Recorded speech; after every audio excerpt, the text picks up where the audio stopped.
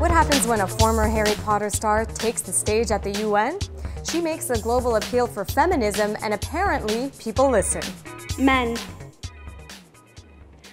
I would like to take this opportunity to extend your formal invitation. Gender equality is your issue too. And with that, the actors turned UN Women Goodwill Ambassador Emma Watson launched the He for She campaign. The goal?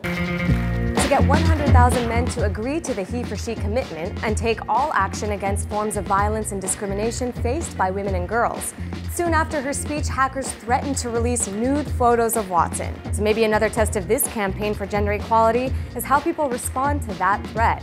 Elaine Thompson tweeted, This kind of response to her speech, this is exactly why we need feminism.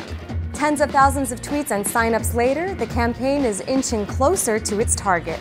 Sean Moody tweeted, I'm getting behind the He for She movement because gender equality is not only a women's issue, it's a human rights one.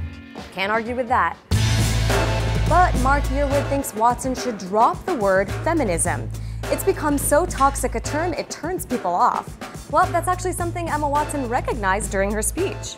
The more I've spoken about feminism, the more I have realized that fighting for women's rights has too often become synonymous with man hating. And she wants to change that. But just how far can a campaign like this go, and can you even measure its success? Think of past hit social media campaigns like the ALS Ice Bucket Challenge that literally flooded your Facebook timelines. Or Movember when men everywhere get a bit hairier in the face for a month to raise money and awareness for men's health issues. You can count the millions of dollars raised, people drenched, and stashes grown with those campaigns. But when you're talking about spreading an idea like gender equality, can clicktivism translate into meaningful action? Or is simply getting people to think and talk about an issue victory enough? Will he for she really get he's and she's working together on gender issues? Or will it just be forgotten next week? Want more? Download the AJ Plus mobile app and join the conversation. Available in your App Store now.